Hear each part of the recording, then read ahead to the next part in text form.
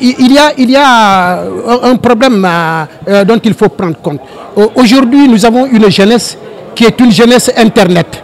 C'est la jeunesse des réseaux sociaux, c'est la jeunesse des nouvelles technologies de l'information et de la communication. Elle ne, elle ne veut plus vivre cette ère de, la Kalachnikov. L'ère de la Kalachnikov a eu son temps. L'ère aujourd'hui d'Internet et des réseaux sociaux a son temps.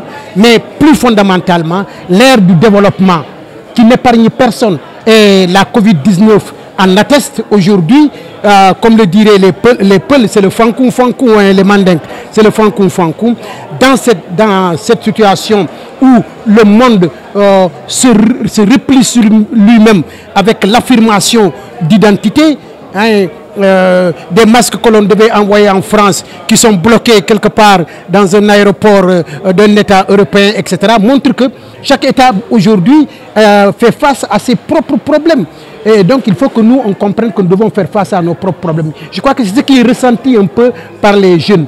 les jeunes ont une perception aujourd'hui de ce monde qui est telle qu'il faut qu'ils s'affirment par véritablement leur présence dans cette compétition mondiale.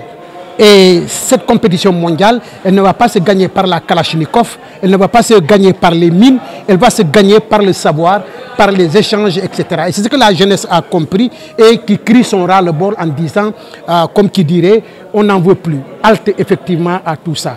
Je pense que c'est un excellent signe et il faut qu'on encourage cette jeunesse véritablement dans cette dynamique